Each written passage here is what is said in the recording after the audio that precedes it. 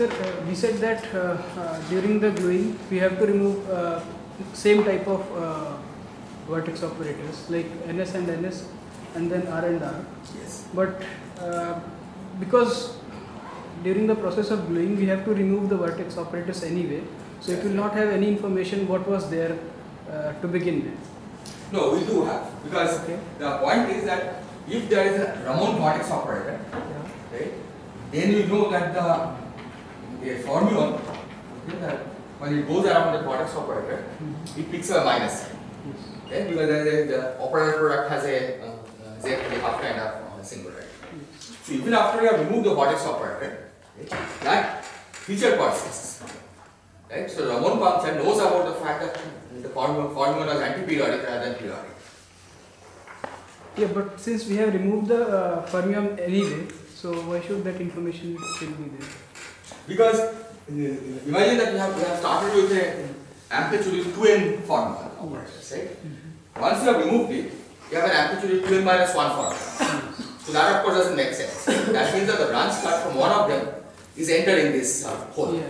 right? What we have removed. Which was earlier ending here, that has been removed. So, because that branch cut is still there, right? When you go around this uh, vortex of water, you still become a minus, Yes. right? And so, unless there is a Ramond vertex operator on the other side, there is an inconsistency. Yes. So, basically, what's happening is that the vertex operator is removed, but the branch cut is traveling through the vertex operator and going to the other side.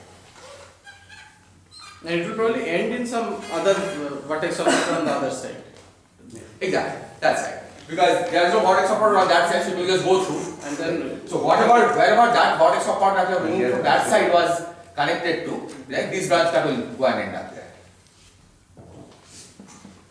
Is this clear that if you have two vortex of parts here, suppose there is a branch you have taken to be connecting this and then on the other surface it was like this. Now you remove these and remove these and glue the two. So what's going to happen is that this branch cut is now going to travel from here to here. Is this? Yeah?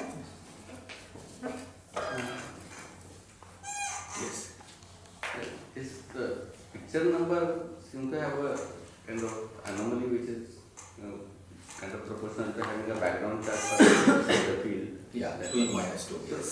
Uh, But the picture changing operator doesn't obviously look like something which one would have called uh, screening operator, uh, screening uh, charge operator that uh, scalar field with the background size would have. Right? Well, picture changing operator is like something which has this quantum numbers of equal to 5 Yeah. together with arbitrary number of betas and gammas. Arbitrary number of betas and gammas. Yeah. But usual uh, screening operator would have been uh, a dimension one operator integrated along some contour. You know, in a simple scalar field with a background charge. Well, this is a dimension 0 operator. This is dimension zero operator. Which is also okay, right? I mean, you can insert in principle dimension 0 operator That is, on the Like on the sphere, right? You can equal take e to the minus 2 pi. Okay, suppose I try to describe, uh, define this thing on a sphere, right? yeah. Correlation function. So there you know that you will take e to the minus 2 pi. So you can think of this as e to the minus 2 pi inside at the infinity. Exactly. Right? Yeah. So I was wondering whether there is a equivalent, um, or whether not equivalent, whether there exists any formulation where one actually just treat it, treats it like a screening mm, charge operators. But it doesn't have, it is a screening charge, but it doesn't have to be a contouring feature, right? In fact, the most natural thing to do is to insert a vertex operator. If you have any scalar field with a screening charge, right? Hmm. Then you have the identity, which has dimension 0, right? And e to the power k5, q5, or minus q5, which is dimension 0. Yeah, which is the conjugate of that. Yeah. And this is what we insert. You don't integrate this because this is dimension 0. Right? So in the correlation function, when you try to screen it, you just insert this operator into the correlation function. right? And then mm, evaluate the rest of the correlation function. Right? So that's what will give the uh, correct result. So e to the minus 2 phi expectation value between vacuum will be non-zero. That's the uh, definition. So in, in simple Coulomb gas, one would have kind of put the Dodson-Fatio type of uh, Yeah, but that's just a trick. I mean, you don't have to. trick, Yeah, exactly. I was just wondering whether similar could, thing could be uh, Well, you can of course integrate as, I- as we did integral dw over w x sub 0, right? Yeah, yeah, that is the closest representation to that kind of uh, operator. But x of 0, uh, w is actually dimension 0. Exactly.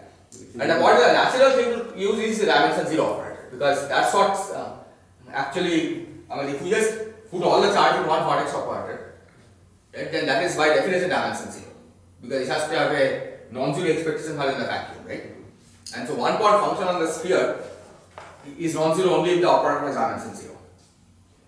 So in that sense, whenever you have a scalar with background charge, right, the natural thing that actually can soak up the charge is a dimension 0 operator. Right? And then you put rest of the vertex operators so that total charge adds up to 0. And these sides have the resilience. So in that sense, it's not unnatural. That I mean, even in the case of scalars, um, you use dimension 0 to scale. These are of course working in a different manner. Right? I mean, this, this picture changing operator is, uh, uh, I mean, uses BRST invariance and various other properties. And uh, I mean, the, what you insert depends on how, how many other vertex operators you are inserting. because here it's not that we are demanding that every operator is dimension 0 and everything is being soaked up by one single operator. Right? In fact, every operator has dimension, the, not dimension, the picture number, minus 1 or minus half. And then you insert a appropriate number of these guys to soak up the charge.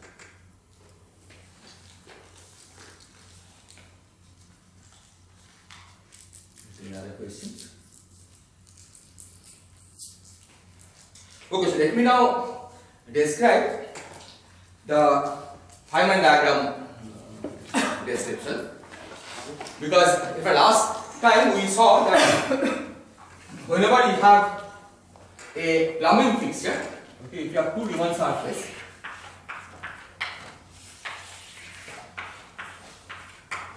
each of which, so if you, uh, in other words, if you have two different sections of PG1, M1, N1 and PG2, M2, N2, and if you do plumbing fixture, okay, you generate first of all a section, part of the section of PG1 plus G2, N1 plus N2 minus 2, M1 plus N2, or PG1 plus G2, N1 plus N2, and M1 plus N2 minus 2, depending on if you are doing NS or Ramond uh, sector functions, and that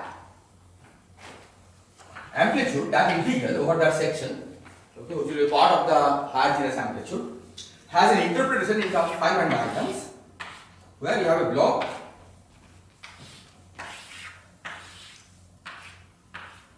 you have two blocks connected by propagator. Okay, and this propagator has a very definite expression. And if this state is phi m and phi n, that is being inserted on this, then it's phi m c L0 plus L0 bar inverse B0 B0 bar delta L0 L0 bar phi n c. And now I'll introduce this notation, notation of an operator G. Where G is identity for NS and I naught for so because writing once I write it this then I don't have to say give separate uh, expressions for NS sector or Ramond sector. Okay this G is just the abstract way of saying that it's an operator that acting on NS sector state gives identity and acting on Ramond sector state gives that is zero. And if you have type 2 in type 2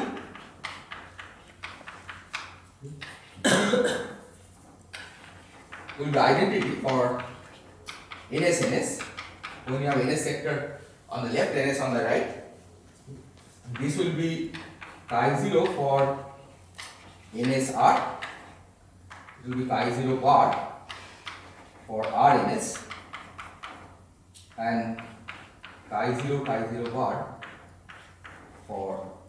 Okay.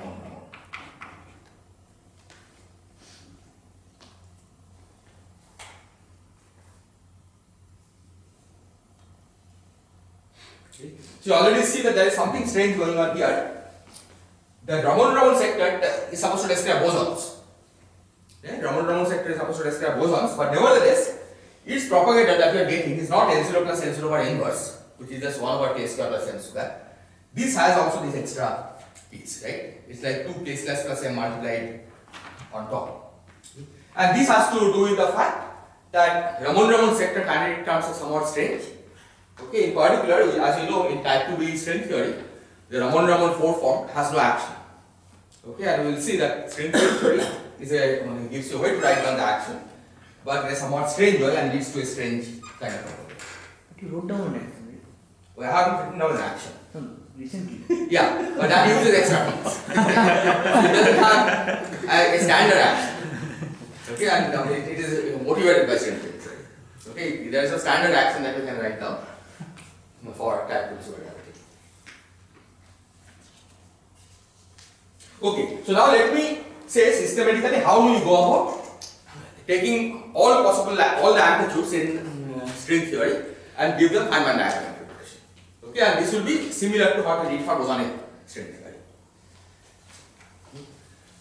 So systematic organization as Feynman diagrams.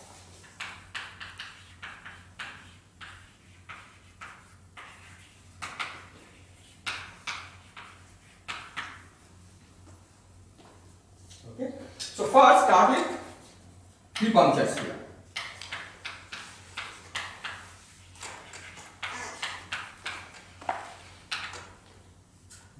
So to describe the three punctures here, if I use the same language that we use, this is P0, G0, and Mn with m plus n equal to 3.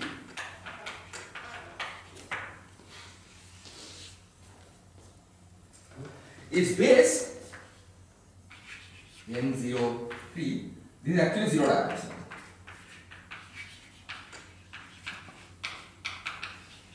Okay, so it's really a point. It doesn't P0 mn m plus n equal to 3 so has only the vertical part.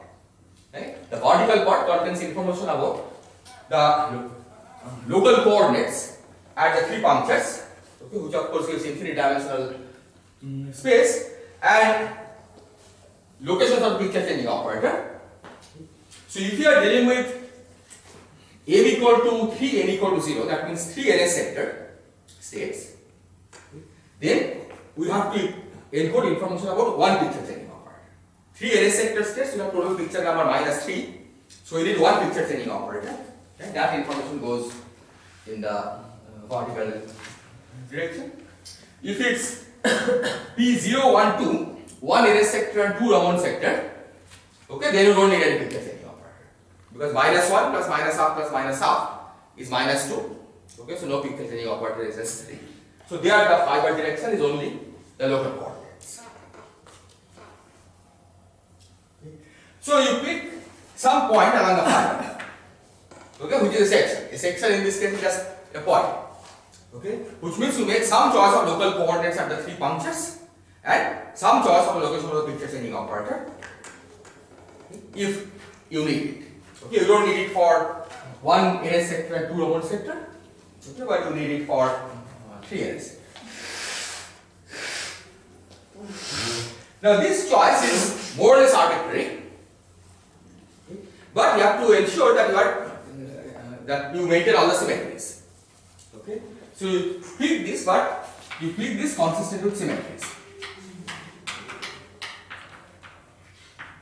Symmetries.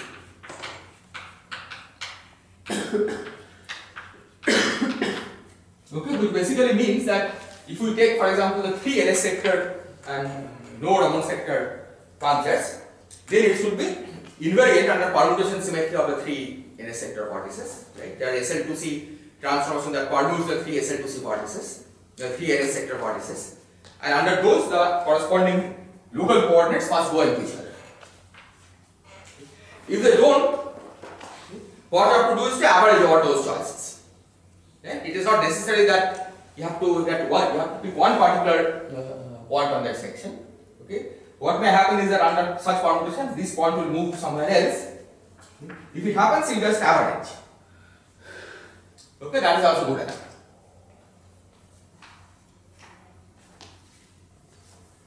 So this is the way you determine three puncture sphere. Okay, what what particular section you have for the three puncture here, and you assign to it a Feynman diagram to this point.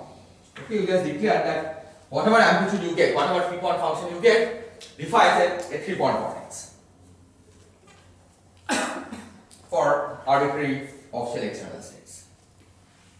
Okay, and I should have said that when you are talk, when you are talking about off-shell external states, we maintain the picture numbers minus one for S and uh, minus half for unknown, but we don't restrict uh, anything else. Okay, we take arbitrary, we don't demand them to equality invariant. Oh, I should have. Oh, we restrict, we maintain picture number, and of course you have to satisfy the L0 minus L0 bar equal to 0 constant right? And B0 minus B0 bar equal to 0 constant Exactly the same as in the case of boson exchange theory.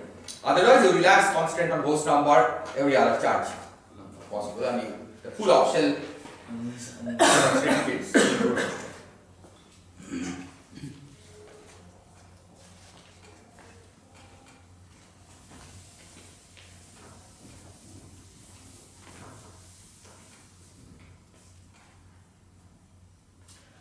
Okay, now given the matter sector vertex operators would still continue to have integer dimensions, right? Integer or half integer dimensions. Well, it depends on the internal CFT. L0 minus L0 bar will still have integer or half integer. And you have to project out, I mean, throw away all the half integer. But like But L0 and L0 bar themselves don't have to be integers. In fact, even I mean, if you take toroidal form factorization, right? You do the i k dot x, where um, uh, k, x is some internal coordinate. Yeah, that can have arbitrary uh, complicated dimension depending on the radius of form factorization. That's right. But given that total dress dress uh, dimension is uh, zero, Yeah. uh, and B. No, that's not zero anymore. For Marshall, Okay. okay. it's not zero anymore. Right? So for option it's not zero, but the difference between L0 minus L0 what typically always takes either integer or half integer values and you just try all the half integer values. Yeah, but uh, uh, um, L0 and L0 what themselves are completely Completely. Okay. okay. Because you are not demanding anymore that uh, k square plus m square is zero or anything.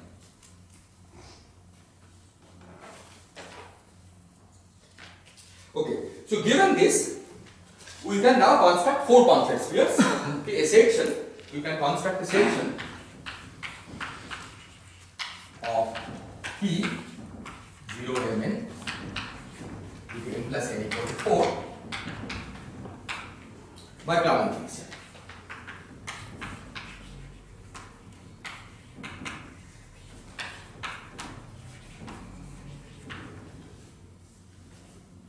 Okay, so what does it mean? You take say 1, 2,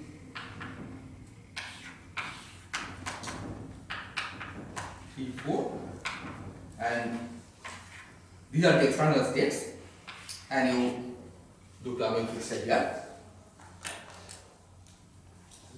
or you can do these are different 1, 3,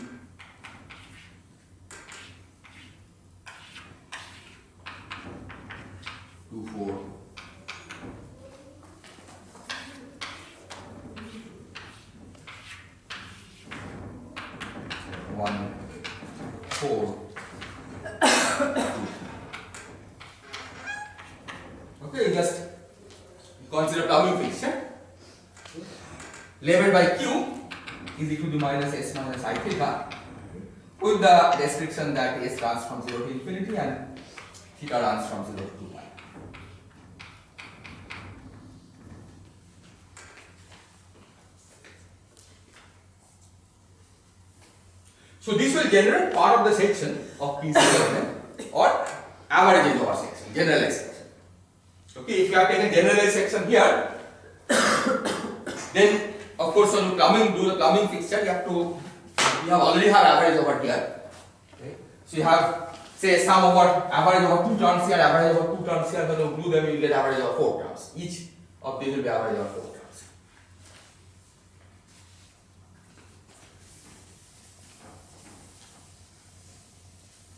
in this case, uh, information about uh, location of root puncture is not there in the final. Uh, No, it is there. Oh, yeah. In this case, of course, because the location of the about the root puncture was not part of the information about the N03, right? Because this, if you look at the N03, it's fixed. uh, on- everything you can uh, fix everything. So the location of the root puncture here has no meaning. Okay? That can be fixed by Z to C on this side. So this contains information about the local coordinate choices at 1, 2, 3, 4 because initially we had given the local coordinate at 1, 2, 3, 4 on, on all the counters and depending on the choice of local coordinates here okay, of course the gluing function will be different okay, because the gluing is always done with local coordinates w and w equal to um, some number.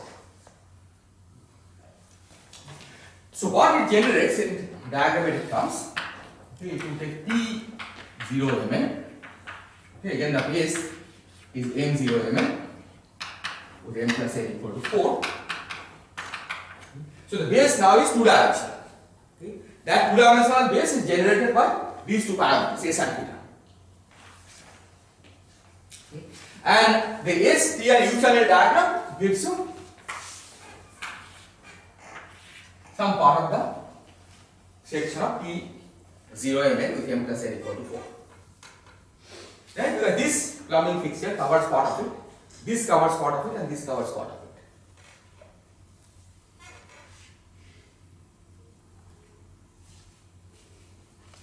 it. Is this clear? But this of course is not a full amplitude. Right? Because the full amplitude should integrate over a whole section. So you basically supply the missing piece. Well, here it looks like they are disconnected, but typically you always get a connected piece that is left over. Okay, because here I have drawn, have drawn everything in one dimension, right? So that's why it looks disconnected. But actually the missing piece is a connected region. Hmm.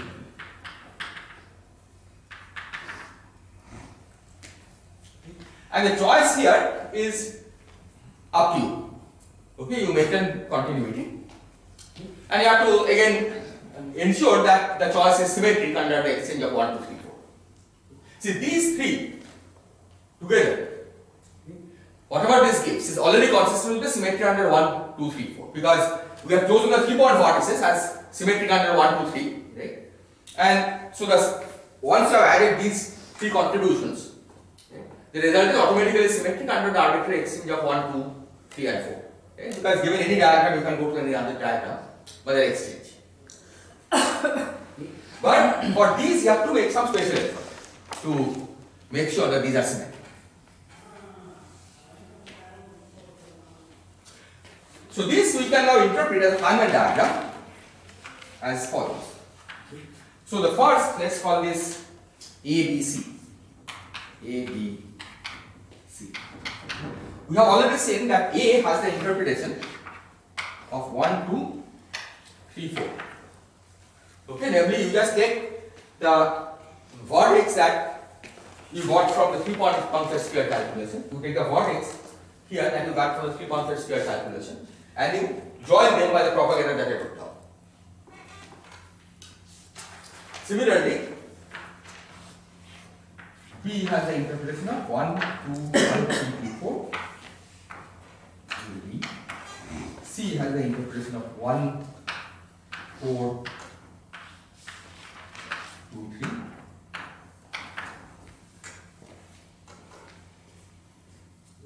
So, and what is left is dotted contribution. Okay, that involves a two dimensional integral.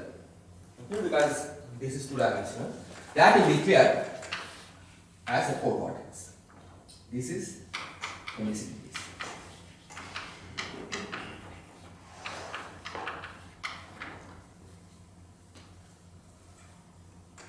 a definition of what we mean by a four vertex.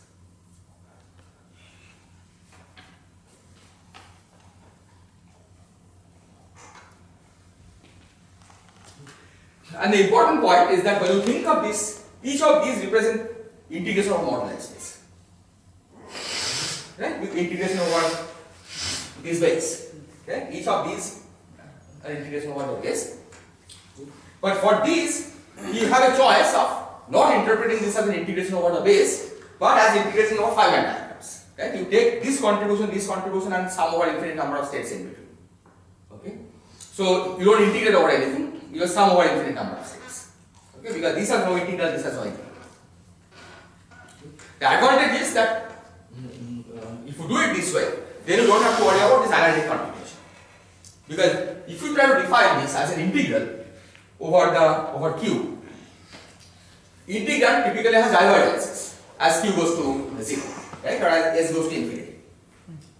And you have to define them analytic continuation. Right? But that's the way, you normally define covariance analogy. If you think of this as an infinite sum, then that analytic continuation has already been done in writing this 1 over L0 plus L0 1. No analytic continuation is necessary. This is a perfectly well defined object. the price you pay is that you have to think of this as an infinite sum. Okay? But as long as you choose your vertices appropriately, this infinite sum is exponentially suppressed because there is a hidden e to the minus s naught uh, times uh, the dimension at the vertices okay, for some parameter, large parameter s, some parameter s naught that you can take to be arbitrarily large. Okay. So you can ensure that even though you have to do an infinite sum, that sum is uh, convergent. In fact, it's, it falls off very fast and only a few terms you need typically. Okay. So this way, you can make this amplitude completely well defined. If you want to put it on a computer, you put it on a computer. Okay.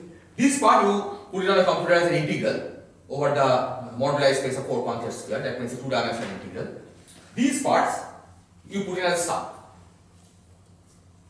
Because in this sense, this gives a completely well defined expression for this amplitude without having to do any analytic continuation. If you have a technical field, you don't have any problem?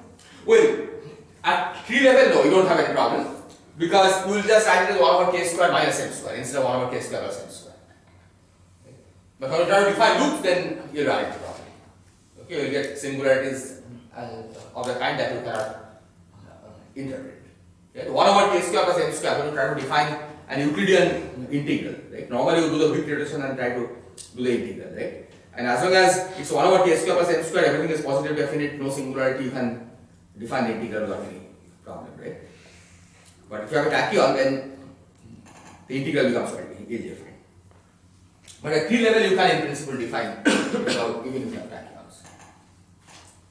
This is a complete off-shell This is- complete off-shell. Uh, Well, external states you can put on shell. no, no, in, in, inside. Yeah, inside of course the k is determined by whatever momentum is flowing, and that is no reason to be on shell. Yeah. Right? It's like k1 plus k2. So it's somehow all off-shell states. Yeah, it's sum over all of shells. Exactly. But like in the bosonic case, one has to think of this as analytic continuation in the momentum space as you were. Well, at tree level you don't have to because there is a momentum integral. But in But once you go to loops, you have to again uh, define, think think of this as an Euclidean analytic computation from the Euclidean path, integration. Exactly.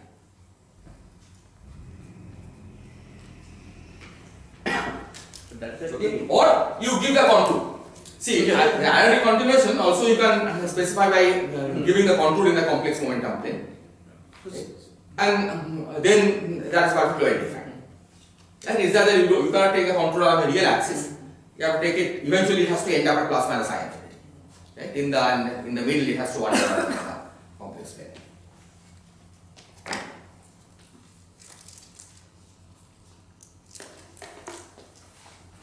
And then this process will repeat for higher part function. Okay, in fact, even to do plumbing fixture,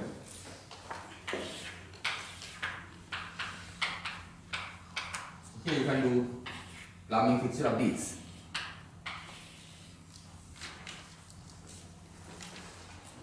So this is again a two parameter family, okay, Q variable, and what this generates is a section of P 1 1 well 1 in n with m plus n equal to 0 sorry m plus n equal to 1 in fact well it has to be p1 1 0 right? There cannot be any odd number of wrong vertex operators anywhere. Okay, p1 1 0 but so this is always ns but the thing that you are doing could be either a Neveu-Schwarz or Ramond. Right?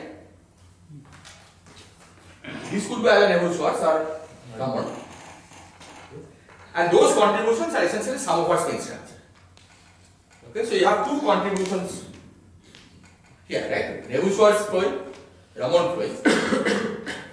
but the Neveu-Schwarz you can actually think of this as a sum of two uh, contributions because Neveu-Schwarz, you have to do a GSO projection. Right? Trace of 1 plus minus 1 to the f.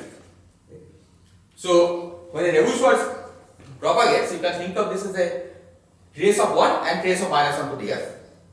Okay, those that means Neveu-Schwarz has two different contributions, Ramond has two different contributions, and they together will uh, give the uh, four different spin structures on which you have to sum.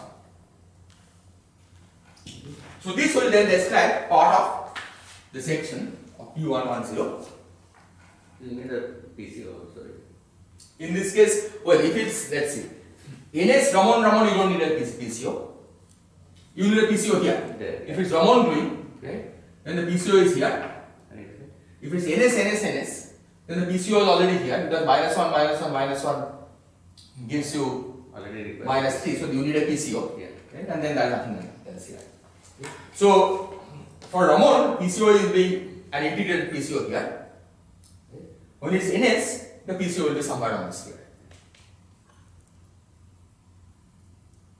Is that clear? Can you repeat the spin structure argument?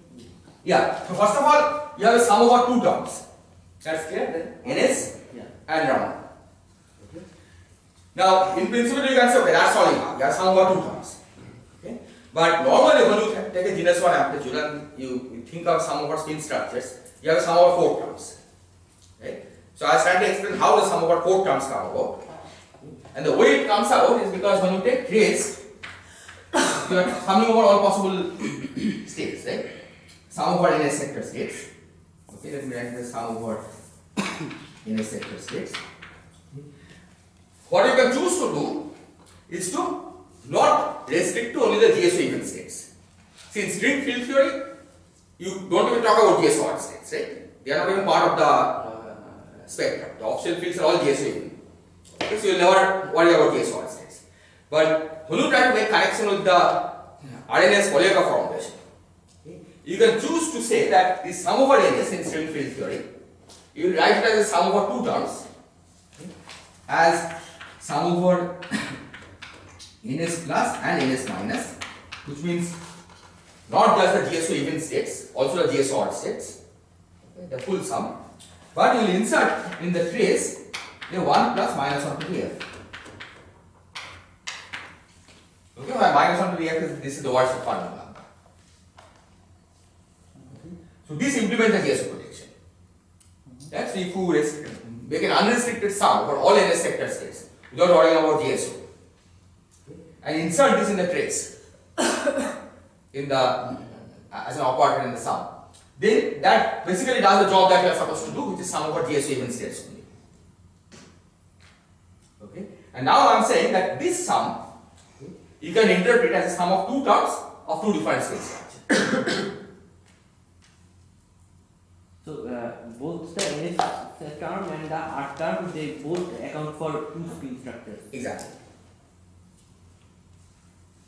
Okay. So NS term corresponds to periodic boundary condition, sorry, anti-periodic boundary condition on this cycle. And then 1 and minus 1 to the f is periodic and anti-periodic boundary condition on this cycles. So similarly, when R state is propagating, right, Ramond state means it's a periodic boundary condition on this cycle. Right? Because what is propagating here is has periodic boundary condition. But in this cycle, the fact that you are summing over periodic and anti-periodic is again coming from these two terms over here. Okay, insertion of minus 1 to the f corresponds to periodic boundary condition on this cycle. Insertion of 1 corresponds to anti-periodic boundary condition on this cycle. Then that's the way. If you start with the string field theory diagram and if you go to try to interpret it in, term, in terms of the worldsheet diagram, that's the way the worldsheet diagram will emerge. The sum over spin structure on the, on the worldsheet will emerge. Is this clear? Okay, so as I was saying, it will cover part of this, and whatever is not covered, you declare as a new contribution, which is one point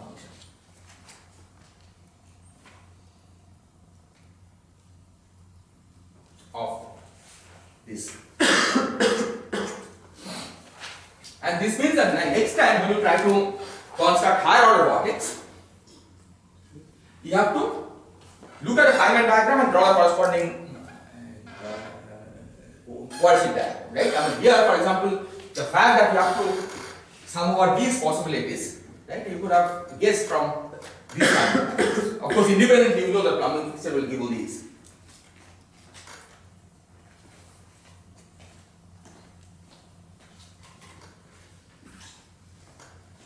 So let me go one more step and then it will become clear.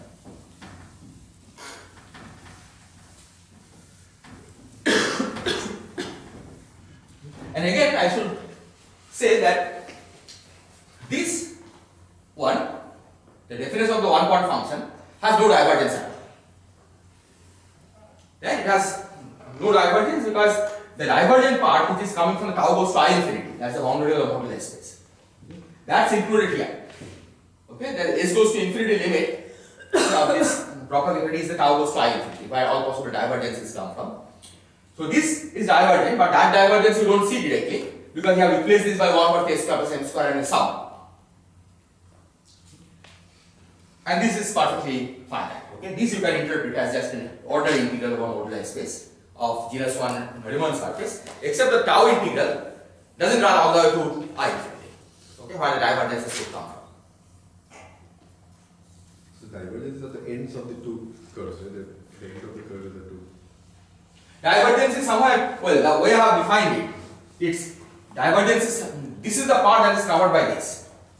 Right? Dotted parts are outside. So the ends are Well, it depends on, no, not the ends. Ends are actually finite. These are the s equal to 0 ends. The s equal to infinity end is somewhere here. Because at s equal to 0 end, right, you stop and then you have to fill the rest by explicitly putting in the brackets. So divergence is somewhere in, in between, the s equal to 0, right, which is sitting somewhere here. But in principle, these uh, bold lines you could make arbitrarily small. I mean, if you because you want to just get Exactly. some part. Yeah, yeah. So you can, you can make it arbitrarily small and the way you do it is by using this S naught, okay, that I introduced, or by rescaling the local coordinates. So that when you glue, you the, the diagrams like this, for example, will cover very little of the modulus. It's only the other boundary. Right? So that way most of the contribution right, will come from the elementary vertices, right? The integration goes almost near the boundary. But the contribution near the boundary, okay, you reinterpret as finite. And that's the most efficient way to organize. Because the worldsheet diagrams do very well, right? Except when you are at the boundary, right? So you don't want to go to the boundary using worldsheet diagram. And the Feynman diagrams do very well precisely near the boundary, right? Because they near the boundary, the sum over n, okay, gets uh, falls off very fast, right? Because you have eff- eff- effective line to minus s naught times the L0 plus L0 part. Right? We don't see it explicitly, but it's there in the part as part of the vertex, and that falls off very fast. So it, the sum is very uh, highly convergent, right? except for the massless states which cause a Well, except for massless states, the on-shell states. Okay, basically it's on-shell states which give divergence. Everything else falls off very fast.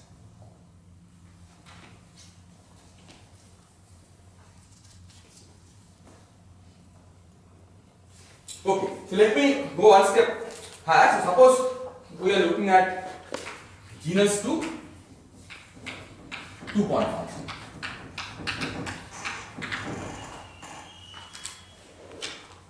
Yeah. There's some uh, kind of uh, string coupling uh, counting parameters sitting around with that cross. Order GS. higher. Yeah, so basically, the- I mean, whenever there is genus 1 con- uh, genus G contribution, there will be a GS square Yeah. multiplying it. Right? You can see it in terms of string field theory. but you can also see it here. So you can think of the original three puncture sphere as having something like 1 over gs square. And each plumbing fixture for supplying a gs square, right? Propagator gets gs square, and then the counting automatically gives. Yeah, but like while drawing the diagram, if one writes this, one should add immediately a j square to that. Yeah, you can do that, or at the end, you know, the, you uh, look at the genus of the surface and you put a gs square. But I'm just saying that if you want to see how it comes from string field theory, right? What you can say that you draw every, you start with the, this thing is the three-point vertex, goes as gs square, sorry, 1 over gs square, And every propagator is j and pro every propagator gives you gs square. Okay? And then you can already see that when you have got group two three point function to get a four point function at three level, it comes with a gs, 1 over gs square. Right? 1 over gs square, 1 over gs square comes gs square. So what, whenever you fill, that will also carry a 1 over gs square. Right? So this is all three amplitudes will carry 1 over gs square. The loop amplitude here you have a 1 over gs square to begin with, but this has a gs square. Yeah, so that basically kills the gs square, it's a border 1. So, whatever you used to kill must also carry no power of gs. Right? So, in a sense, once the three point function has been normalized and the propagator has been normalized correctly, you automatically get all the gs square factors in all the amplitudes. Just di- diagrammatically, just keep the mnemonic, one should just say j squared for this propagator ending on a cross. Right? This intrinsic. Yeah, so these are, well, this is in fact not j square, these are order 1. Because tree level you have taken j square, right? yeah, 1 over j square. Yeah, with respect to the. Yeah, with respect to that, it will be yes, but yes, that's right. okay, so genus to two point function, right? So, so if we had computed a two-point function in the torus uh, while translating That's to what you're. Yes. Go ahead. Go ahead. Two point function. so you can ask when we do that two point function on the torus.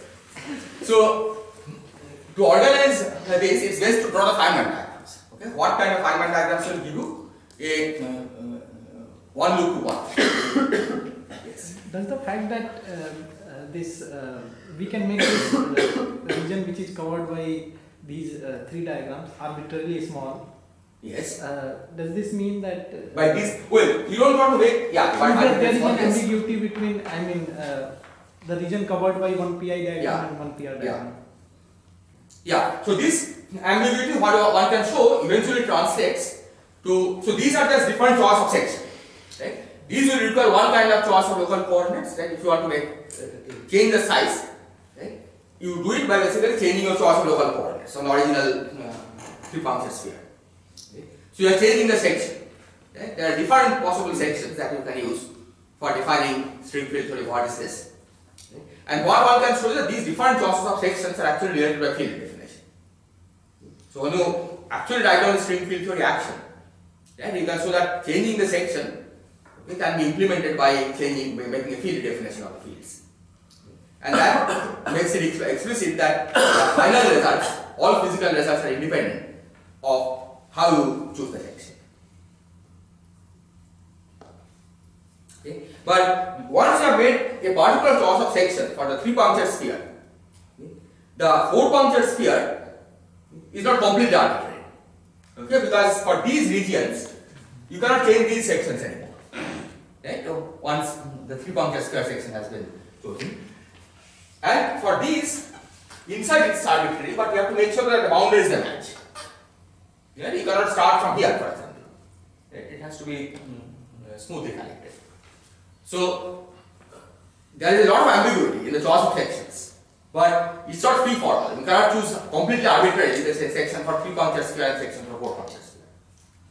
Okay, because already, three puncture sphere choice fixes these parts. Okay, so genus to two point function. Okay. So what you have to do, if you want to uh, keep track of the counting, make sure that you have gotten all the plumbing steps correctly, you will first draw possible Feynman diagrams that could come from uh, genus to two point function. Okay. see what is covered, which region is covered, and whatever is not covered, you declare as an explicit two-point vertex that you have to add a genus to. Sorry, genus, well, genus 1 two-point. This is what I want. This is what you asked, right? Two-point function. genus 1 two-point. So let's start with the Feynman diagram. So first we have this.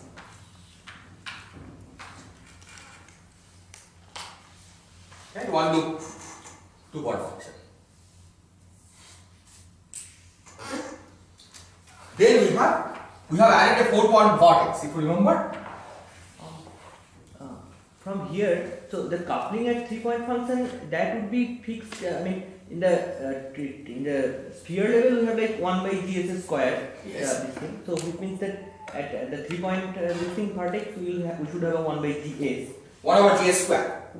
Yeah, at each a one one over gs. So No, no, what each at each this thing one over gs square. I have taken taken this to be one over gs square, right?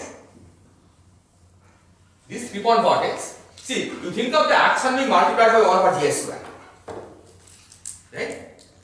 If the action is multiplied by one over gs square, then all vertices are multiplied by one over gs square. okay, yeah. right?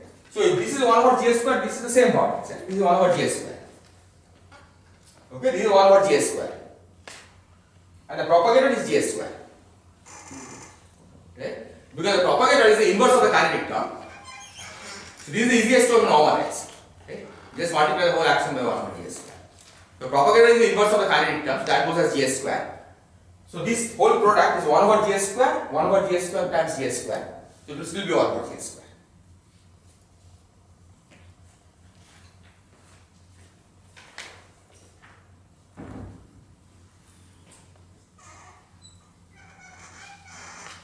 Okay, so these two,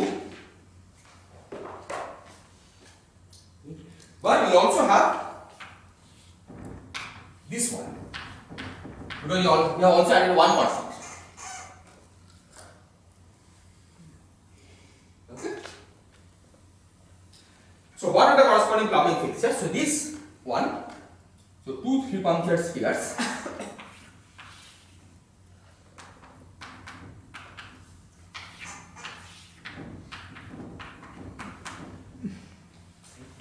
basically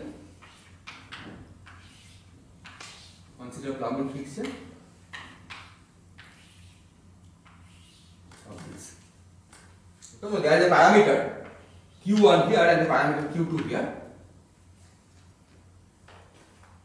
Right? Three punctured spheres themselves are no parameters, so we'll have basically two complex parameters, so four real parameters.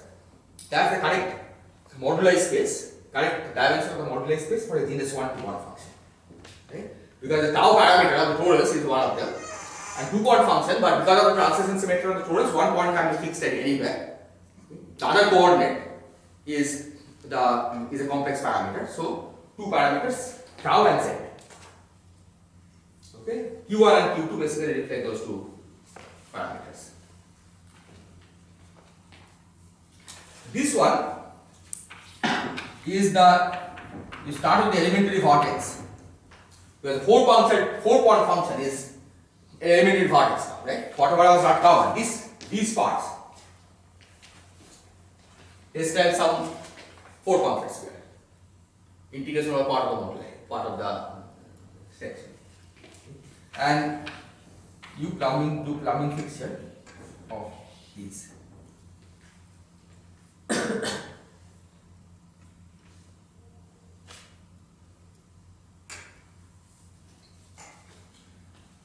Finally, this one, this vertex is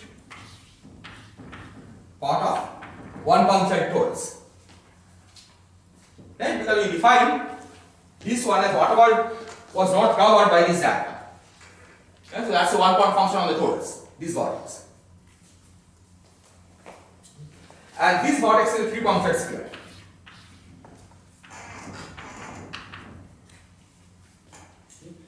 And the propagator is like doing plumbing fixture.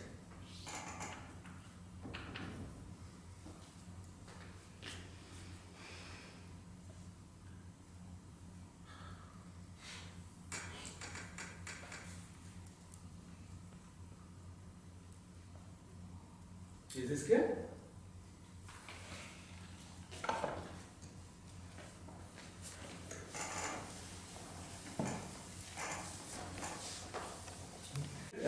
if we had considered uh, higher point functions, we would also get higher point vertices.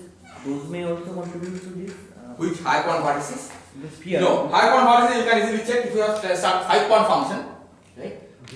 If you start doing, right, you will either get more genus or more than two points on the torus.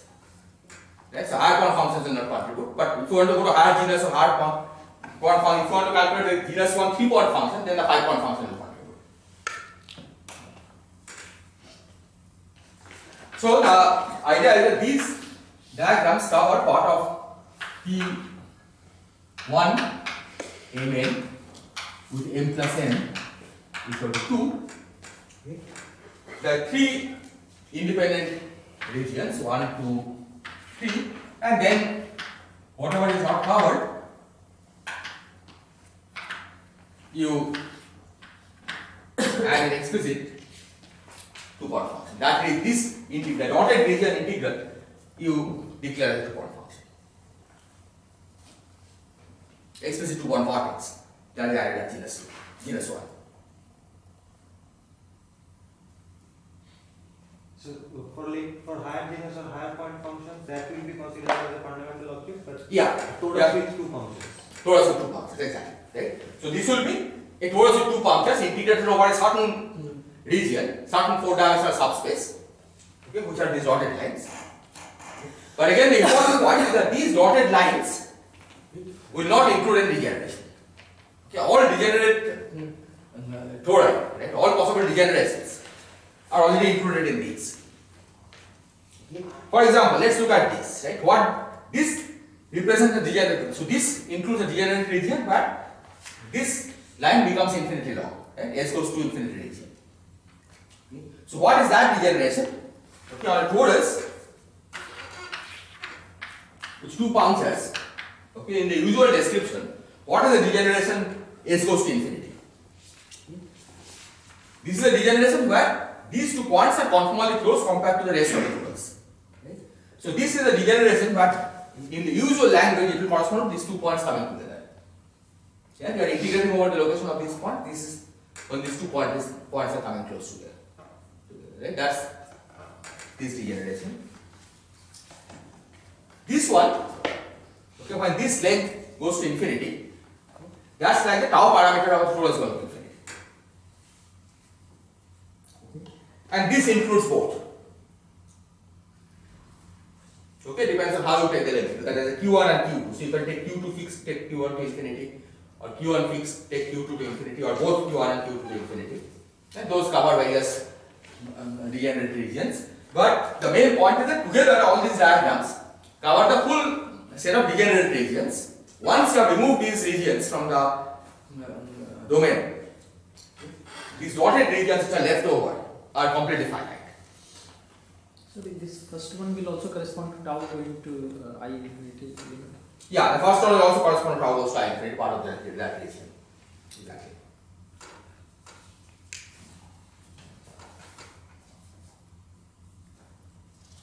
And this way you can just keep building. Okay, you will uh, draw your Feynman diagrams. Okay, that covers part of the corresponding PGMN. And whatever is left, you declare as a new vertex that you have to add to that order. And when you go to higher order, you use that new vertex also as part of the Feynman diagram. And do plumbing fixture of those new vertices. And the dotted region is here also connected uh, region. Yes, typically, well, I don't know whether there is general proof, but my experience is the dotted region is always connected. But it actually doesn't matter. If it's not connected, it's a sum over these different regions.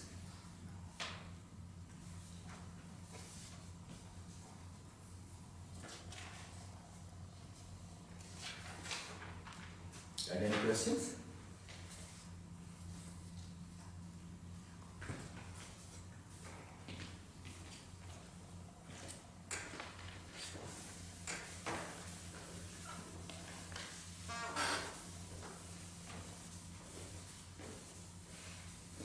Okay, so now let me describe some of the uses of this formalism. The first one I have already said that once you have this partitioning of the moduli space that you treat different regions of the moduli space differently. The regions near the boundary you interpret as Feynman diagrams. The regions near the uh, in the interior you just think of this as a worldsheet diagram integrated over the moduli space. Then all the divergences are under, control.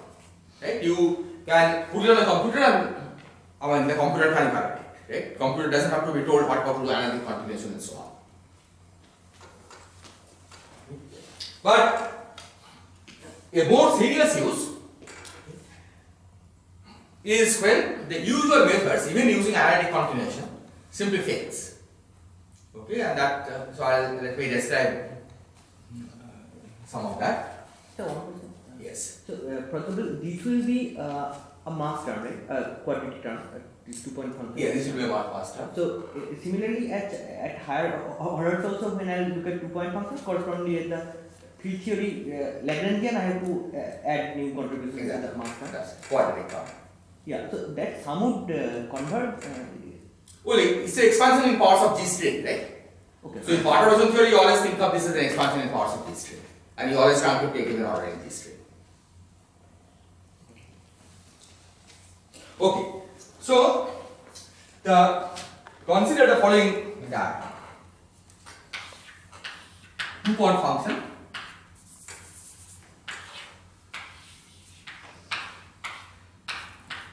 On some genus 3 set.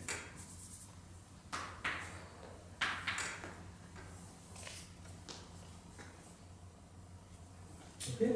Some on-shell state. Okay. I'm first describing how to do in the usual approach. Some on-shell state which satisfies k square plus m square equal to zero.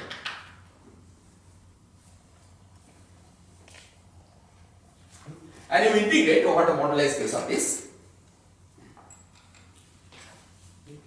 And during that integration,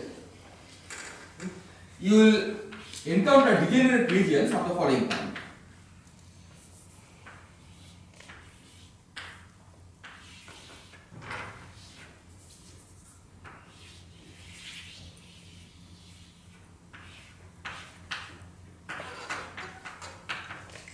Okay, when the parameter, this s parameter goes to infinity and this s parameter goes to infinity, these are degenerate regions. Some handles are becoming infinitely long. Okay, they are supposed to integrate. In the usual approach, they are supposed to integrate over these uh, uh, modular parameters. And normally you would think, at least at three levels, what happens is that you can define this by analytic continuation. Okay? It's not very useful to put it on the computer, but at least you can do analytic continuation. Right? That's the way one defines covariance and amplitude. But here, it's impossible to do analytic continuation. And the way you can see that it's impossible to do analytic continuation okay, and get a finite result is to see physically what we expect for that. Right? What is the divergence telling us? So this divergence in this case is like u minus s k square plus n square. Integral ds. I mean you have integration over s. And normally in field theory, if you want to field theory and interpretation, you will write as 1 over k square plus n square. Okay.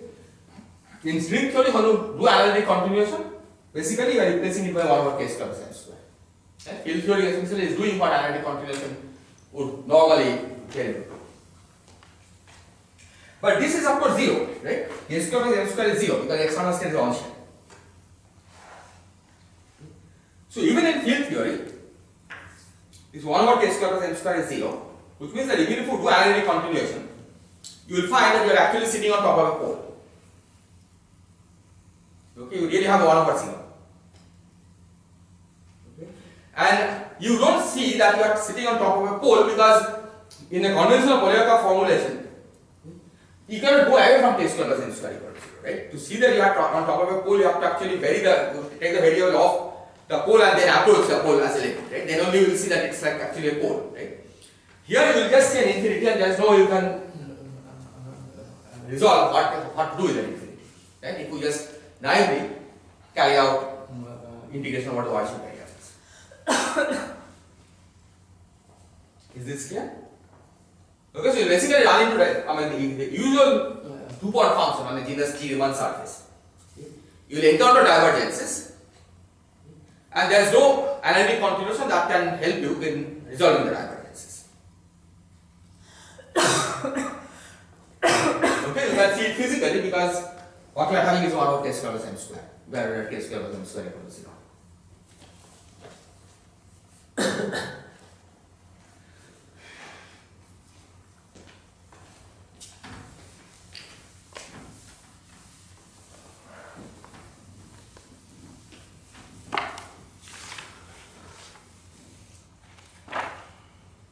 Is this point clear? But now we see that once you think of this as a field theory Feynman diagram, it is clear what we are supposed to do. Okay? Because these are nothing but self-energy diagrams. Okay? These are diagrams of this kind. Okay, I am writing this as a blob. This blob in terms of field theory may contain some over various diagrams, okay, which we don't here, but it's blobs like this. And you know that in field theory you are not supposed to deal with this blob in isolation. Right? If you deal with it in isolation, you will get 1 over k square plus m square at k square plus m square equal to 0. So what you have to do is to resum the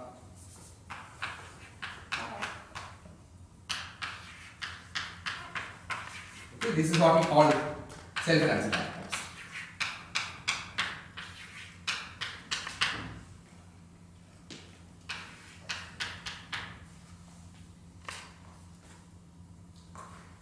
And in once you have the Feynman diagram interpretation, it's also clear what you should resum.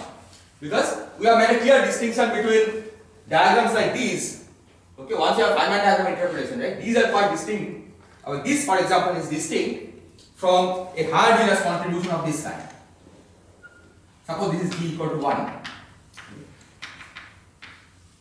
In the normal approach, okay, a genus 2 two point function like this, there is no clear division between what is coming from two genus 1 grouped together and what is coming from the genus 2 block. but once we have done a field theory, okay, given the Feynman diagram interpretation, then this diagram is distinct from this one. Okay? There are two separate contributions. And it's clear what you have to, mm, how you should resum. Right? So this will be given by k square plus n square minus this blob inverse. Okay, and this blob will now contain genus 1 contribution, genus 2 contribution, genus 3 contribution and so on.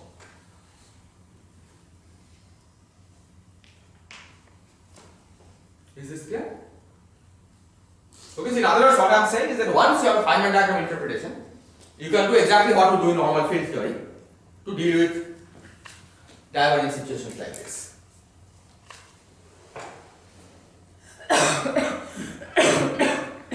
so this is in some sense your resummed or renormalized propagator. Okay, there is no infinite renormalization, these are all finite expressions. And then you will say that the zero of this is the location of the new pole. Right? The mass is renormalized. Okay, this may not have 0 at k square plus m square equal to 0, but this will have 0 at k square plus m square plus some delta m square equal to 0. And that is your definition of renormalized mass.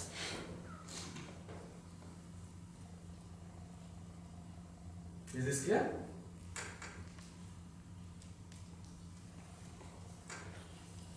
And so once you accept that the diagram, that the contribution can be arranged as sum over Feynman diagram, then this is automatic. Okay, sum over Feynman diagrams you just these are one particle irreducible diagrams. Okay, once you have Feynman diagram interpretation, then of course one particle irreducible is distinct from one particle reducible diagram. So just sum over all these are one particle irreducible blocks. Sum over them and we write it this way.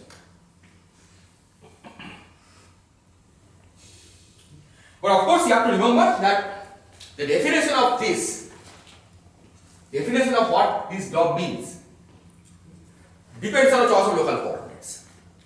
Yeah, it's, there is no invariant definition of what this one particular irreducible blob is, right? Because that depends on how you have chosen a local coordinate to begin with. Okay, so this object is not unambiguous. But the physical question is, is the location of the pole unambiguous? Right? Because that's what you want to know. Right? Because if that becomes ambiguous, then of course what you are doing has no sense. And what one can show is that indeed that is unambiguous. So the location of the physical pole is unambiguous.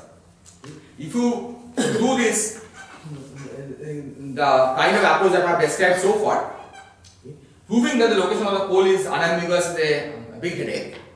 Okay, because you really have to do a lot of work to show that as you change the, the uh, section, the even though this amplitude changes, the pole position remains the same.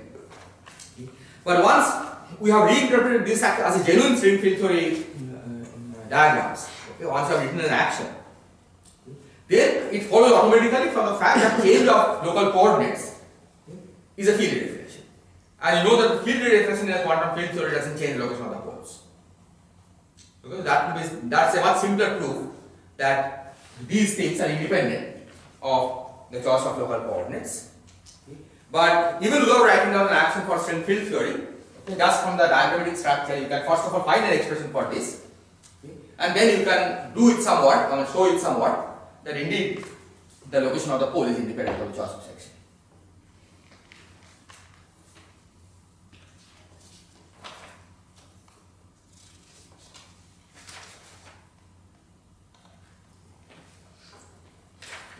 Are there other questions?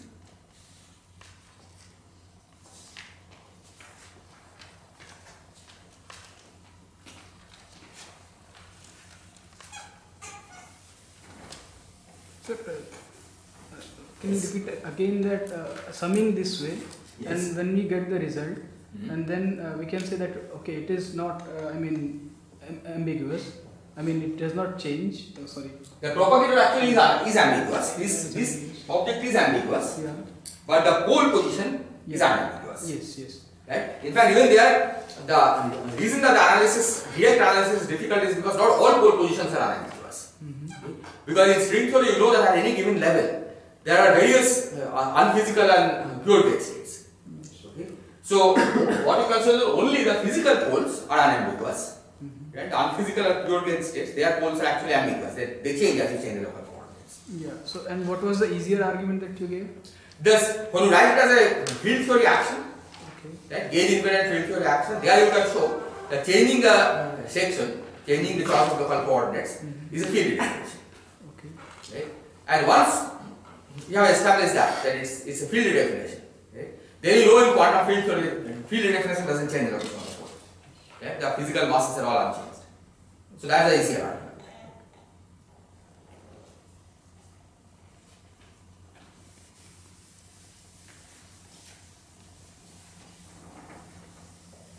Yeah, in fact, since I'm discussing field definition, I can also mention another useful usefulness of this, which is even for standard on-shell amplitudes. Right? Forget about off-shell amplitude, just standard on-shell amplitude a mass accumulation and so on. We gave a general proof that the amplitude is independent of a choice of section. Okay, using this relation, right? d omega p equal to minus 1, I'm sorry, omega p of qb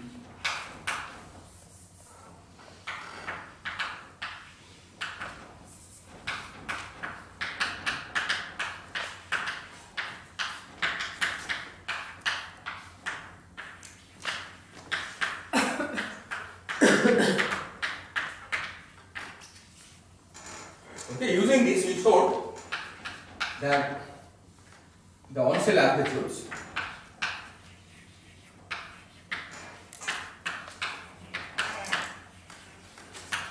are independent of choice of section.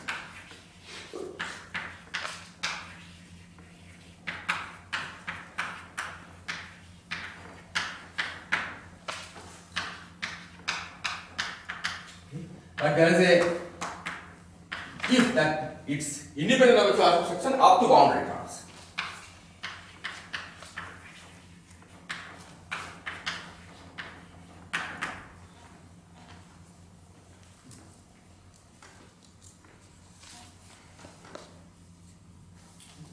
And to uh, zero is in fact a big headache. Okay, it's, the point is in simple string theory it is possible to prove this with a lot of work because you have to classify all possible operators that could contribute to the boundary term and argue one by one that these operators don't contribute to the boundary term. Okay, and in fact for the most general uh, version of string theory where the, the CFT is arbitrary, it has been proved that the boundary terms all vanish. But once you use the language of string field theory, then it's automatic that the, it should be independent of the section. Again, by the same argument that in the language of string field theory, changing the section corresponds to field definition. And you know that field definition doesn't change the S? So the on amplitude should be completely independent of the choice of section. And you can also see where the difficulties are. Right? The particular difficulty that arises in showing the sum of the boundary terms at zero. In fact, shows up in the corresponding uh, description using string field theory as explicit boundary terms that are in a partition. Okay, because if you follow the rules of string field theory, then you find that in certain cases, the usual on-shell procedure okay, has to be supplemented by adding explicit boundary terms. Okay, and once you do that, then the independence of the choice of local coordinates is automatic.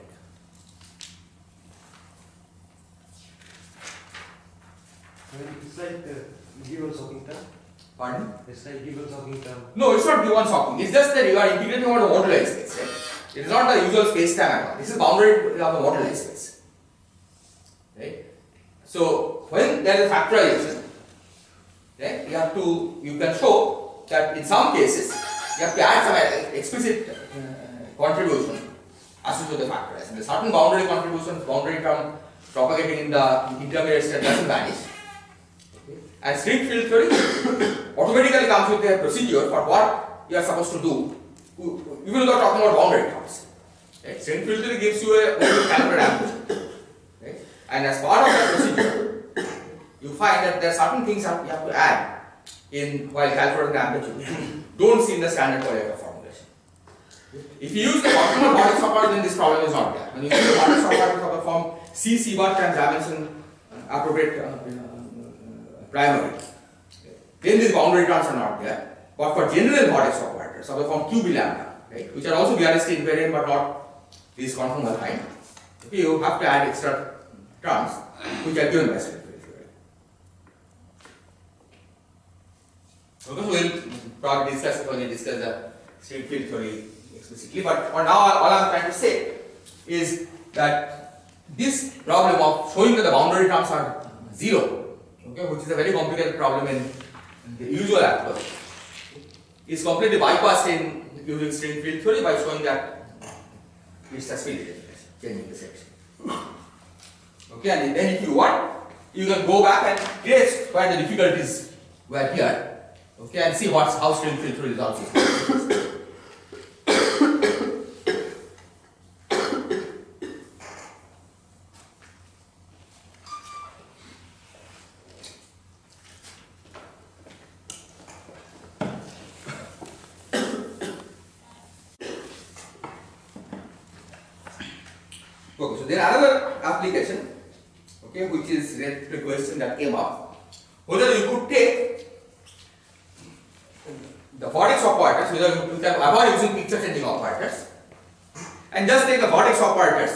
in some other picture.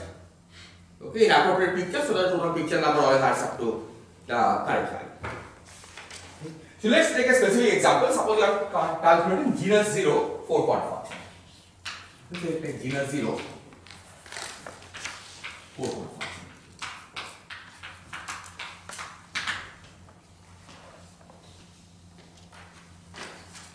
So the correct procedure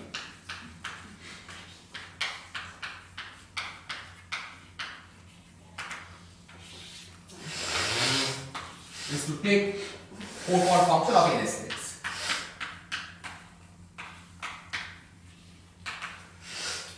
The correct procedure is to take the vertex operators in the, the 1, 2, 3, 4, all in minus 1. So let me write this as 1 in minus 1, 2 in minus 1, 4 in minus 1, and 3 in minus 1. Okay, the subscript basically reflects the picture number that you are And then you have to put two PCOs, which are denoted by these circles. Okay? Now, simplified procedure would be say to take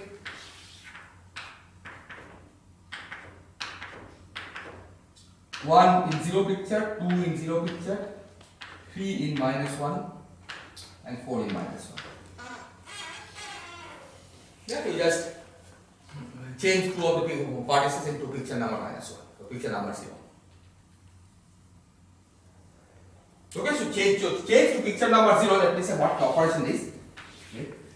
so V zero is basically x of z, v of minus one W. So P zero of W is limit of z goes to W of x of z minus one W. Okay, that's the definition of how you check picture. So suppose you have done that. Okay, 1 and 2 in the 0 picture and 3 and 4 in the minus 1 picture. Okay, and now I will see where the difference is. This is chi, I think. This is chi x. What about the capital X? Till I am talking about explicit CFT operators, capital X and capital x.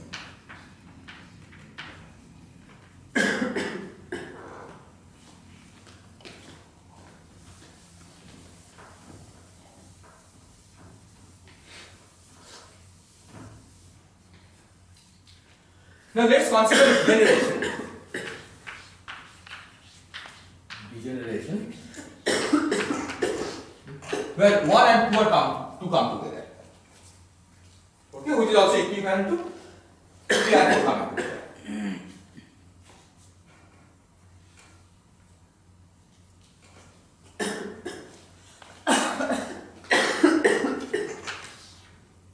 So then if you follow the strict field theory prescription,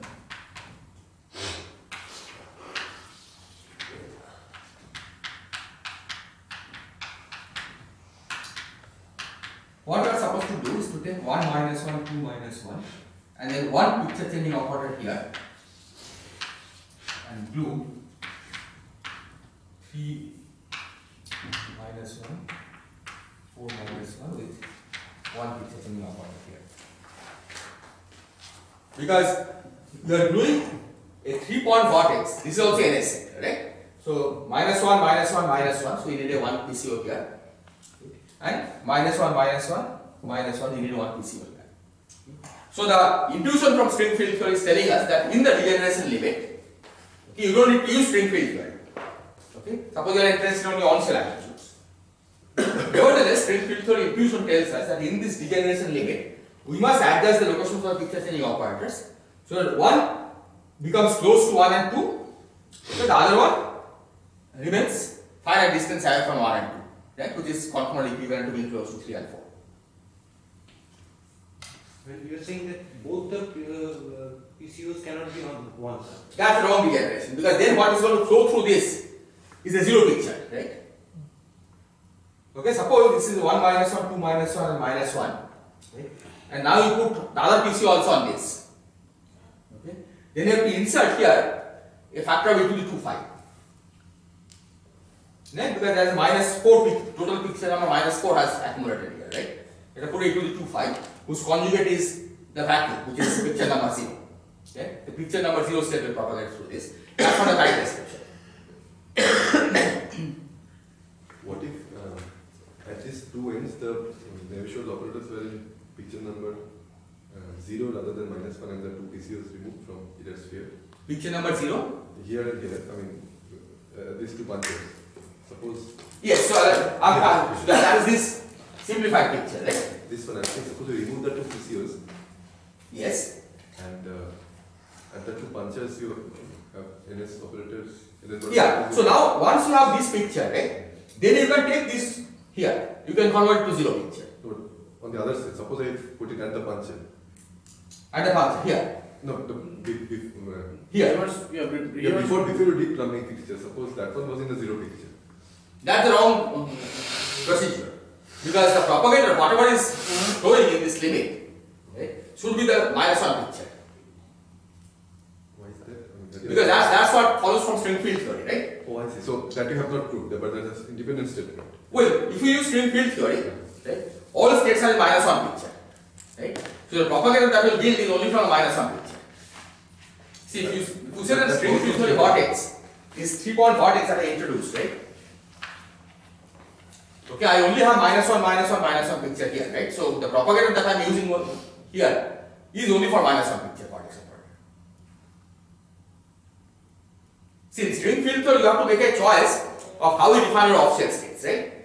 I already told you you shouldn't have off-shell states for every picture number because that will be like counting too many. You have to make a choice, right? And a natural choice, which is consistent with gauge invariance and everything else, is that it's in a minus one picture. So you fix that once and for all. So all propagation is in minus one picture for the NS sector, and for the Ramond sector is a minus half picture which propagates because that's what we have chosen to be the string field. And once you have made that string field theory rule tells us that through this only the minus one picture has to propagate. Right? And that and that's also consistent with the fact that we are doing two three point three point vertices. Right? Each three point vertex by definition contains a picture number, picture changing operator. Right? So there is no ambiguity here. Once you think of this as string field theory Feynman diagram, this is what we end up with. Right? You, you cannot uh, change this. But then you are saying one can move the two PCOs to two of the vertex operators and you get what you call a simplified picture. No, you will not get what I, so simplified picture, you will get, I'll tell you what you get from simplified picture. In this case, if you try to make 1 goes to 2,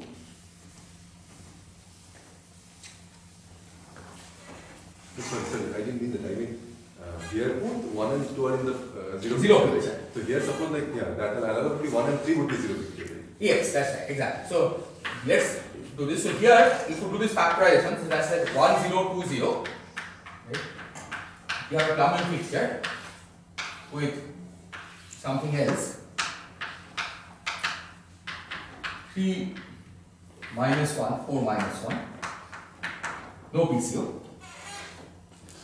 But this effectively means that you have in the degeneration limit you have put both PCOs here. Right? Which is of course wrong choice. Yeah, that's not what string field theory tells us. I mean sometimes you may be lucky and this contribution may agree with that. Eh? But there is no guarantee that it will agree. And there are examples where it fails. Now of course you could have said that okay, if you had taken 102 minus 1, then it would work. Okay? 102 minus 1 will work.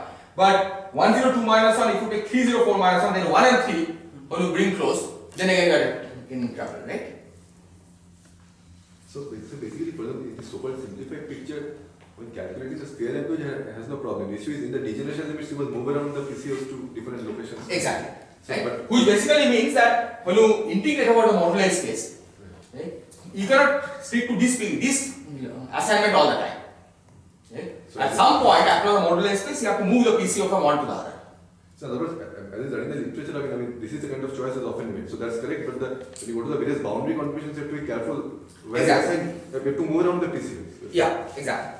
Right? So, I mean, if you just take this and try to do the mm, calculation, sometimes you may run into actually uh, wrong answer. Okay, and there are examples. The boundary contributions you get uh, non-physical states in, uh, is it in the tube? Exactly. Right? So, in fact, I mean, often, okay, in such cases where you, what happens is that the simplified picture gives you zero. Okay, whereas the actual answer is not zero. Okay, it's something non-zero. And the easiest way to calculate the actual answer okay, is to calculate the difference between this and that. Okay, because the difference between this and that will involve that as you are going to the boundary, you have to move all the PCOs from here to here. Okay, but that's a total derivative. Movement of, sp- of the PCOs is a total derivative. Right? So the difference between this and that one, you can express as a total derivative. Right? And that is given in terms of the boundary. So while these are useful, this simplified picture is useful because it gives the wrong answer and then you can calculate the difference to find the right answer. But if you just trust the simplified picture and do the calculation with this, you will not get the right answer. I'm just asking in in the literature, I mean, when a four-point often people do this, say two are uh, zero pictures, two are minus one pictures. So, Yeah, so a generic momentum, Right. a generic momentum is not a problem. Because a generic momentum, what happens is that the boundary terms that you will get vanishes by. Right? So that's why what, what, people do in the literature at generic momentum Right. is okay. But when you are trying to do it at say, zero momentum, so spatial momentum, right? Where you want to study some special properties of the vacuum, then you run into problems. So basically saying that, I mean, just have the correct number of PCOs essentially wherever you want, but in the in, in the various degeneration limits, uh, be careful about Where the are, So, so, so, so is others fact, uh, with various factorizations, you have to be careful in those limits. Exactly. That in all degeneration limits, you have to make sure that what is propagated here is the appropriate vertex operator, minus one picture vortex of particle. For the NS sector, and from the Ramond sector, it's minus half. So this is integral, in integrand over these z and is fine, the dz's. But, but basically you are saying the degeneration, you have to move around the PCO Exactly. depending on what, what you move. Exactly. Depending on what you are using. Right? Then you shouldn't, for example, take two zero picture vertex operators towards each other. Right? A zero picture and a minus one picture is okay. Okay, because that has the right PCO. You cannot just take two minus one picture vertex operators to each other. You also have to bring a PCO close to it. Yeah, because if you take two minus one picture vertex operators towards each other, that's like having this picture without any PCO on this. Yeah, that you shouldn't do. So here, for example, if I want to bring one, two together, I should bring one of the PCOs from three or four to one of those. Exactly. That's it.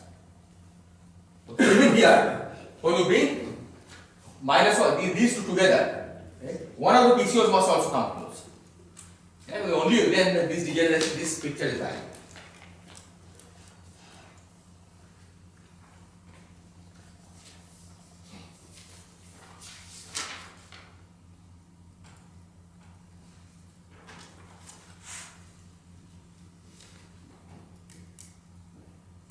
Maybe I'll just mention one more thing, okay, and then this chapter will be closed. And from next time I can start with the singularities. Okay. And this is about the Ramond sector propagator. Let me just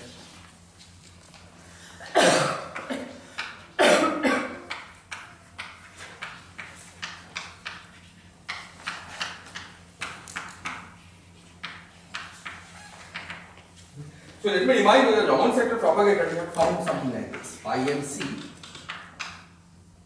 V0 V0 bar.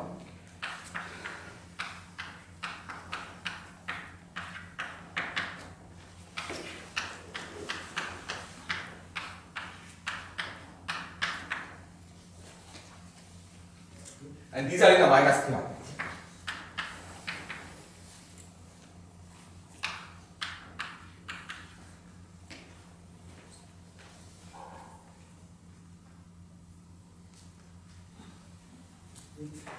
So when it's part of a tree, then of course the ghost numbers of these are fixed. Right? When it's part of a tree, the ghost number of this is fixed by the ghost number of the external space. Because that is ghost number concentration. But when it's part of a loop, then you have to over all possible ghost.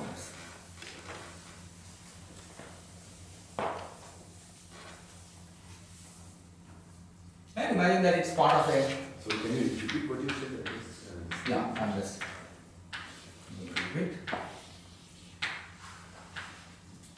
So I'm saying that if you take this Ramond sector propagator, okay, normally it will appear inside the Feynman diagrams, right? In the various Feynman diagrams they will draw you, you have to use this form. Okay, here for example, if it's well, here it's NS, but if it has Ramond, this is what you will use. But if this is tree diagram, then this is always picture number minus 3 half and the ghost number of this is fixed by the ghost numbers of the external states. Right? Where the ghost number concentration, so it will be just sum of the ghost numbers of these that will flow here. So the ghost number is not arbitrary. Okay, it's a fixed ghost number. But when it's part of a loop like this, okay, then you are summing over all possible states propagating in the loop. Then the ghost number is not fixed. You have to sum over all possible ghost numbers. And when you try to sum over all possible ghost numbers, then we can, in principle, run into the problem that we had mentioned earlier, that there is infinite degeneracy in picture number minus 3. And in fact, there is infinite degeneracy both in picture number minus half and picture number minus 3 half. The spectrum is bounded from below, but there is infinite degeneracy, and the degeneracy comes from the fact that beta naught to the n on minus 3 half picture vacuum is non-zero Okay.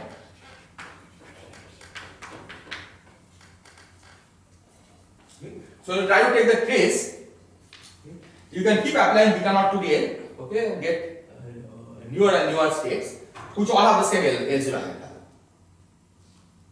Okay, and it's propagating in the state. And naively you might think that this will make the sum diverge, right? This will make the trace diverge because you have infinite number of states of a given mass square propagating in the loop. Is this point clear?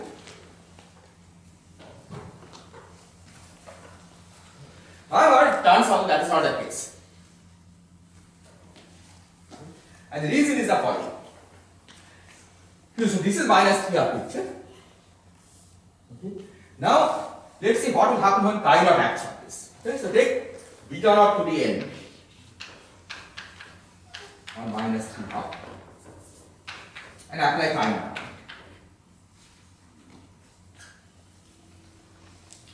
So chi naught doesn't change the level, right? It's a it's convolutionally at zero, but it changes the picture number.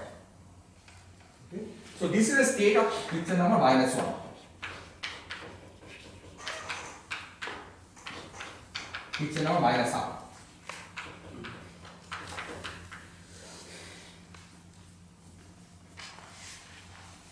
Now, on a picture number minus half state, also there is infinite degeneracy. Okay? And that infinite degeneracy is created by gamma 0 to the.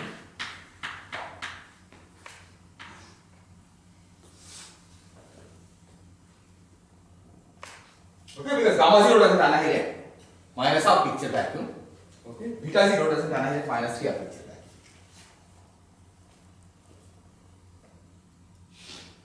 Now, let's imagine that you have created a state of very high uh, beta 0. Yeah, uh, a lot of beta zeros are being applied on this minus 3 half picture vacuum. Okay. That's a highly negative Gale post number. And you apply chi 0 on it. so it's a state of very high, large negative ghost number in picture number minus half. Is that clear? Beta 0 creates negative ghost number, right? Because you are applying beta 0. So this gives a state of very high negative ghost number of picture number minus, minus half. But such states don't exist. This is starting from picture number minus half. You can create states with very high positive ghost number. Right? But not high negative ghost number. Which basically means that for sufficiently large n, this must vanish. Because there is no candidate state. Only minus half is the only thing that it could have. Well, you can have a few beta zeros, but uh, I mean, this, it's not always on the vacuum. Yeah, if it's on the vacuum only, uh, one you can have. But typically it's minus 3 half and then there's several other things applied to it. Right? But that's a finite set, right? Because you, other things will increase the zero eigenvalue. Given number of vertex operators. Yeah, given our vertex of order or the finite zero eigenvalue. Right? But whatever you do now, as you are keeping, as you keep on applying beta zero to the n, right? if you take n to be very large, right, it will make drive the ghost number to a very large negative. And once you apply chi zero on it, you find that there is simply no state of that large negative uh, ghost number in the spectrum. Okay, because on minus half, you cannot create states with arbitrarily large negative ghost number. Okay, so at every level you will find that this has to stop. Okay, even though it, naively it looks like that you can create arbitrarily high negative ghost number state of the same L0 eigenvalue. What actually propagates, what actually contributes in this propagate is only a finite number of states. And that's why even though naively the Ramond sector has infinite number of states which could propagate, it doesn't cause any divergence. States, even the physical states. No, arbitrary offset states. Take an arbitrary offset state propagating.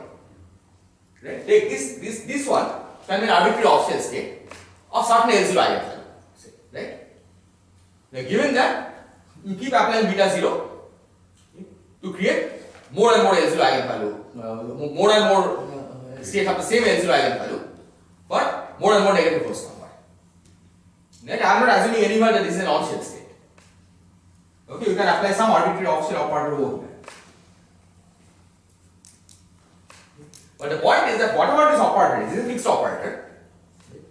If you apply a very very large number of beta zeros, right, to create arbitrary negative, large negative ghost number state, at some point it will become such a negative ghost number that there is no such state in the minus of picture.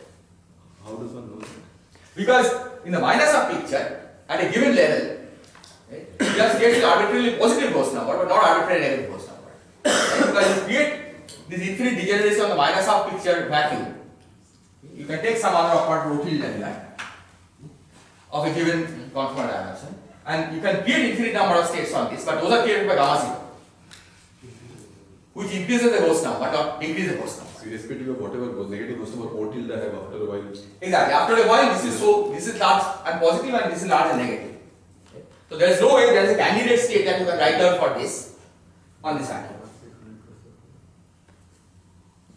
Right. So what happens if you go to higher and higher L0, right, then the number of states keep growing. Typically. But at a given L0 eigenvalue, okay, you only have a finite number of states that are propagate. But if, of course, there are no such things. How does this thing vanish? I mean, this Which thing? Because that means the chi0 acting on this will be zero. See, there is no candidate state, right, then chi0 must this state. Sir, um, um, really sorry to disturb you, but we have a. Yeah, talk at exactly, I know, yeah. So you are done. So I think that's about the end of the lecture.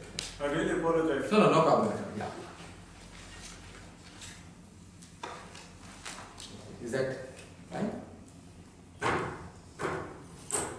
Okay, so next time we'll start with the discussion of singularity.